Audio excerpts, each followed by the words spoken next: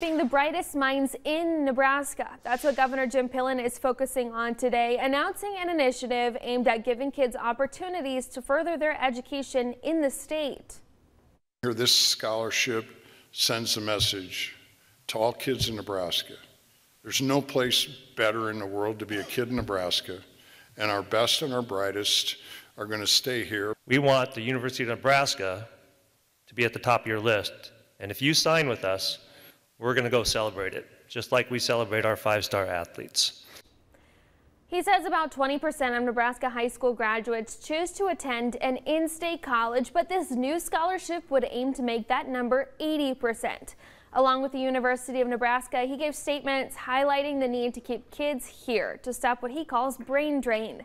As of right now, this scholarship initiative would offer a full ride, room and board, and a $5,000 yearly stipend for those with an ACT score of 36, with hopes of eventually lowering the criteria to a score of 33.